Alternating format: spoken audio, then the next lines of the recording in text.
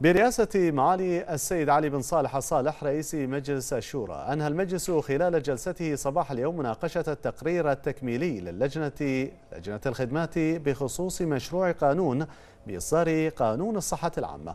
حيث واصل المجلس النظر في تقرير لجنة الخدمات بخصوص مشروع قانون بإصدار قانون الصحة العامة. وبعد مداولات ونقاشات تقدم بها أصحاب السعادة الأعضاء وافق المجلس على المواد الست التي أعيدت إلى اللجنة لإضافة عدد من التعديلات عليها. وبذلك يكون المجلس قد أنهى دراسة مشروع القانون كاملا.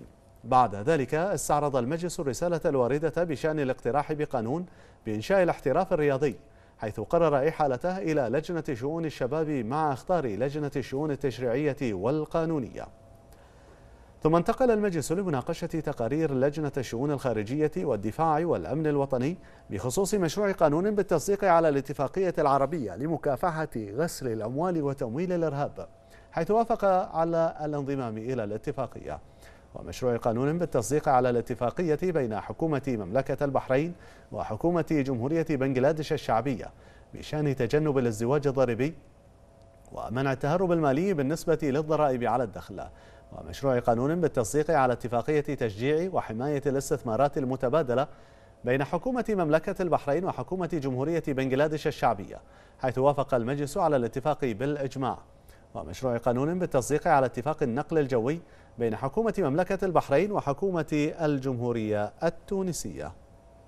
طبعا مشروع قانون الصحة العامة يشمل آه، سلسلة من الإجراءات الحيوية والهامة للمواطنين والمقيمين مثل الرقابة على الأغذية والرقابة على المقاصف المدرسية والمسالخ وغيرها آه، وهو مشروع آه، ضخم ويعد من أطول التشريعات التي نظرها البرلمان بغرفتيه وهو آه، يتكون من 154 مادة موزعة على 30 فصل.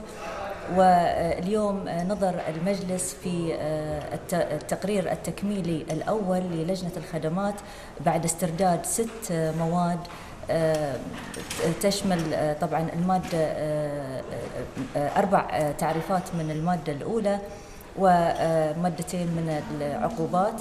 والحمد لله تم التصويت على جميع هذه المواد وإن شاء الله الأسبوع القادم راح يتم التصويت النهائي على هذا المشروع.